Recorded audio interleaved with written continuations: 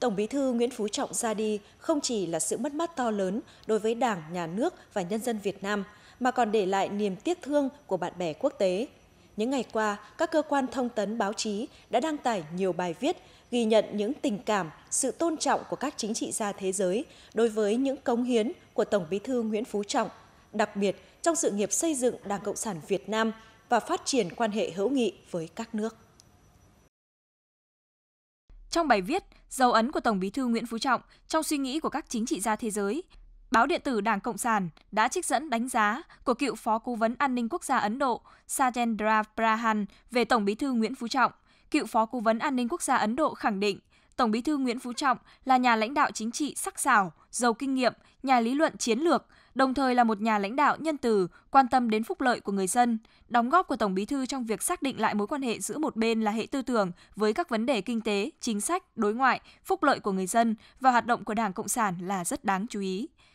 Còn theo anh hùng Cộng hòa Cuba Fernando González Lót, Chủ tịch Viện Cuba hữu nghị với các dân tộc, trong trái tim người dân Cuba, hình ảnh Tổng Bí thư Nguyễn Phú Trọng luôn đậm nét bởi sự giản dị, khiêm tốn, nhân cách cao đẹp và khả năng lãnh đạo sáng suốt, chèo lái con thuyền của Đảng Cộng sản Việt Nam trên con đường củng cố chủ nghĩa xã hội, đấu tranh phát triển, hiện đại hóa đất nước, bất chấp những trở ngại – Ông là học trò xuất sắc của Chủ tịch Hồ Chí Minh, luôn giữ vững đường lối tư tưởng của bác cũng như những hy vọng của người về tương lai thông qua việc đào tạo, giáo dục các thế hệ mới, phẩm chất của những chính khách tầm cỡ thế giới.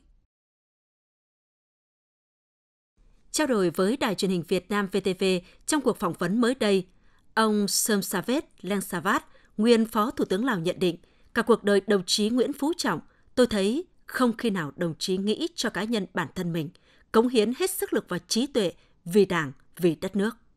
Sự nghiệp cách mạng của Tổng Bí thư Nguyễn Phú Trọng còn ghi dấu ấn đậm nét trong lòng bạn bè quốc tế về tinh thần quyết liệt xây dựng, chỉnh đốn Đảng, xử lý không có vùng cấm, không có ngoại lệ đối với tệ nạn tham nhũng tiêu cực. Ông Brahmaji Samantaray, Tổng thư ký Ủy ban Đoàn kết Ấn Độ Việt Nam xúc động chia sẻ. Tổng Bí thư Nguyễn Phú Trọng thường nhấn mạnh kỷ luật một vài người là để cứu muôn người và tiền bạc khi chết cũng không thể mang theo được. Danh dự mới là điều thiêng liêng cao quý nhất.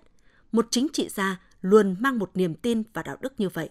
Đó phải là một con người mà trái tim luôn đập về đất nước của mình.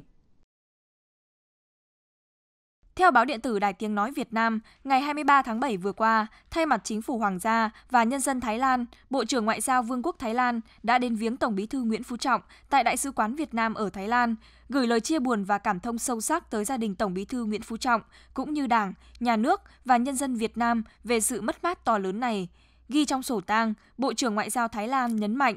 Tổng Bí thư Nguyễn Phú Trọng sẽ được nhớ đến như một người có trí tuệ và sự kiên trì cao độ, người đã cống hiến cả cuộc đời cho sự phát triển của đất nước và hạnh phúc của nhân dân Việt Nam. Dưới sự lãnh đạo của Tổng Bí thư Nguyễn Phú Trọng, Việt Nam đã phát triển vượt bậc và tăng trưởng nhanh chóng như ngày nay. Tổng Bí thư Nguyễn Phú Trọng đóng vai trò to lớn trong việc tăng cường mối quan hệ chặt chẽ giữa Thái Lan và Việt Nam cũng như nhân dân hai nước.